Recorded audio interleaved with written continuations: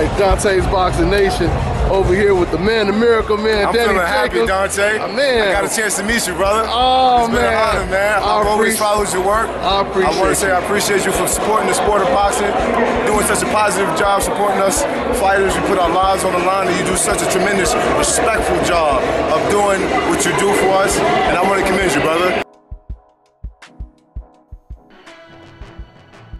Dontae's Boxing Nation.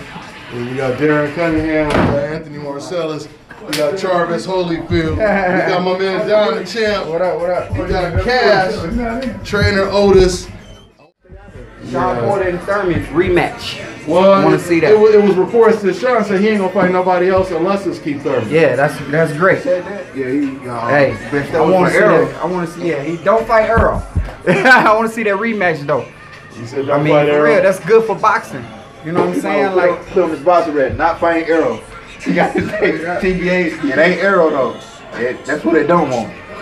yeah. That's what they don't want. They don't but want Earl Spence got um, who he who he got? Lamont? Peterson. Lamont Peterson. That's gonna be like, that's gonna be nice. for a while. Oh yeah. Yeah, That's it's what we gonna be a good boxing. It's You gonna gotta be a give good boxing. Lamont credit. He like one of the only cats that was willing to actually get in the Take ring. that step up. Yeah, like hey, They take back that it out fight. for a while, but I feel like uh, Errol Spence gonna get the better of it. Yeah, was gonna get the best of it. Errol it. get the better of it. That's Yeah. something.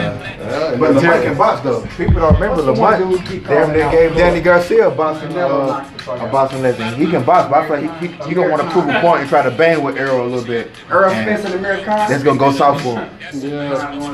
He's an Errol Spence. Earl against Spence and American. In the UK. You know what I'm saying?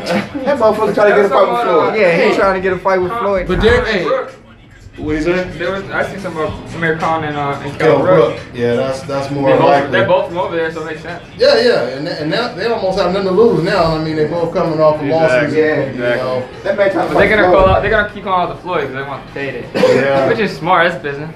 Hey, what you think though? I though? like about- to see Earl Spence and Tim Bradley. Oh, well, Tim, happened to Tim? Tim is done. He said, he, yeah, he retired. What happened?